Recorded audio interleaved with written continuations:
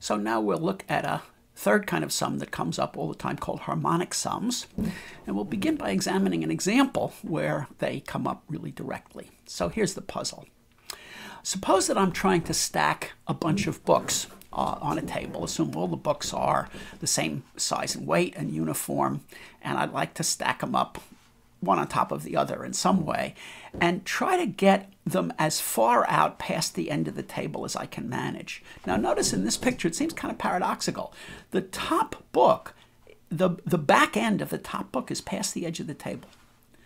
Is it possible to do that? Is it possible to get the top book, the, the back of the top book past the edge of the table? And how far out can you get the furthermost book to the right? That's the question we want to ask. Well, let's go back and uh, do it for the simplest case, which is one book. So this amount will be a function of how many books we have. We're interested in the overhang using n books. Overhang is the amount past the edge of the table that the rightmost um, end of any book can be. Okay, what do you do with one book? Well, with one book, assuming that the thing is uniform, the center of mass is in the middle. Let's assume the book is of length 1. Um, so the center of mass of the book is at halfway down the book. And if that center of mass is not over the table, then you're going to have torque and the book is going to fall.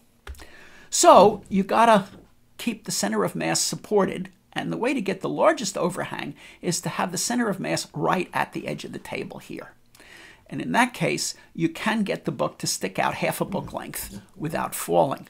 And what that tells us is that the one book overhang is a half. It'll balance uh, with the furthest uh, end out exactly if the center of mass is on the edge, and I get a half a book length for unit overhang. All right, let's proceed recursively or inductively. Suppose I have n books. How am I going to get them to balance? Well, let's assume that I figured out how to get a so-called stable stack of n books, which if I completely supported it flat on the table, it wouldn't fall over. And I'm going to show you how to go from n to n plus 1, which is how you construct an arbitrarily large stack of books that won't fall over. Well, if the stack completely resting on the table won't fall over, that means that if, it, uh, if I have the center of mass of it past the edge of the table, by definition, at the center of mass, there's going to be an equal amount of weight on both sides of the center of mass, and the thing is going to fall off the edge of the table by the same reasoning as we did for one book.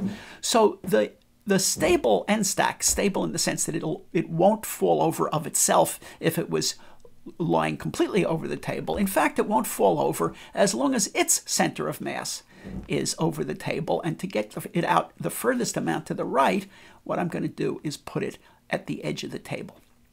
Okay, so now I know how to place uh, a stable stack of n books to get the largest overhang out of it. What next? Uh, well, let's consider n plus 1 books. And what do I have to do? So I'm trying to do the same deal. Suppose that I have a nice stack of n books and I know how to support it so it won't tip over. Um, and I now have n books, n plus one books, and I want to get out further. What do I have to do? Well, by the basic reasoning that we just went through, now the center of mass of the whole stack of n plus one books has to be over the edge of the table. That's the way I'm going to get out the furthest. So I know where the center of mass of n plus books is going to be at the edge of the table. Okay, what about the center of mass of the top n books? Well, I need them to be supported. I need their center of mass to be supported. They'll be supported providing their center of mass is over the bottom book somewhere. And the way to get it out furthest is to have it over the right edge of the bottom book. So I'm going to put the center of mass of the um, top n books at the edge of the n plus first book here. Yeah. And that means that the incremental overhang that I get, the increase in overhang that I get by adding one more book, we can call the delta overhang. And it's the distance between the center of mass of n plus 1 books and the center of mass of n books. And n here and n plus 1 here. Well, let's see what's going on. The center of mass of the uh, n books is at some location here, and the center of mass of the bottom book is halfway away, half a book length away from where the n books are balanced on the edge of the bottom book. So the center of mass of the n books is here, the center of mass of the bottom book is there, the distance between them is one half. And I need the table to be at the balance point between the n books and the one book. That's where the center of mass of the n plus one books will be. So I need to calculate amount. That's going to be the increase in overhang. So let's abstract it a little bit. The delta overhang is the distance from the n book to the n plus one book centers of mass. And if we think of this as a balancing diagram, there's the n books, or at least there's the center of mass of the n books. There's the center of mass of the one book. They're distance one half apart, which we said. And they have to balance at the edge of the table. So think of the edge of the table as the pivot point, um, and it's there. And I need to calculate where is that pivot point. How do I get this uh, fulcrum uh, or this uh, balance beam to balance with weight n here and weight 1 there when they're a total length apart is a half? What's this distance? That distance is the delta that I'm trying to calculate. Well, uh, you just know from uh, physics that the balance point is uh, going to be um, the distance a half divided by uh, the sum of n and n plus 1. Okay, I need the n times this amount to equal 1 times that amount, and if you check that out, it means that delta is a half over n plus 1, or simplifying 1 over twice n plus 1. Now you should stare at that diagram a little bit and remember your elementary physics to realize uh, the reasoning behind the formula for delta. Okay. Well, now I'm done because basically I've just figured out that the increase is this delta overhang, and now I know what it is. It's 1 over twice n plus 1.